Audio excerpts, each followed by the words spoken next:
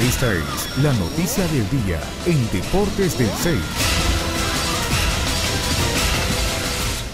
Los máximos dirigentes del equipo Maratón Yankel Rosenthal y Arturo Tuki Bendaña, más otros dirigentes, brindaron hoy en conferencia de prensa un informe de la situación económica que vive el equipo Esmeralda. En la sumatoria de los dos torneos pasados, las taquillas de Maratón fueron en rojo. Si sumamos todas las taquillas positivas y las negativas, eh, Maratón en los dos torneos conjuntos salimos con una taquilla en rojo, o sea, con un déficit. La dirigencia verdolaga hizo un llamado a los aficionados para rescatar al equipo sanpedrano de la crisis en la que está hundido desde hace varios años y así poder cancelar los meses atrasados que se le debe a la actual plantilla como a otros futbolistas que ya no están en la institución Esmeralda.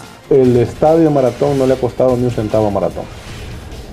Hemos conseguido algunos patrocinadores, algunas aportaciones fuertes de, algunos directivos de nuestra familia. Los verdes han comenzado una actividad denominada Maratón Mil por Mil, que consiste que los aficionados puedan donar una cantidad mínima de 500 lempiras para recaudar 4 millones, que es la deuda que tiene el conjunto verdolaga.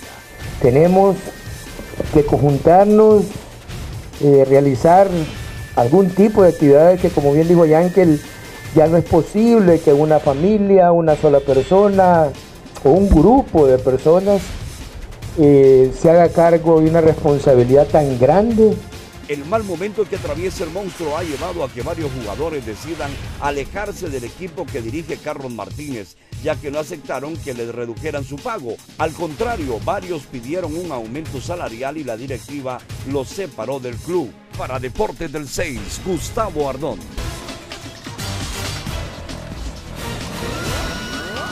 Esto fue la noticia del día en Deportes del 6.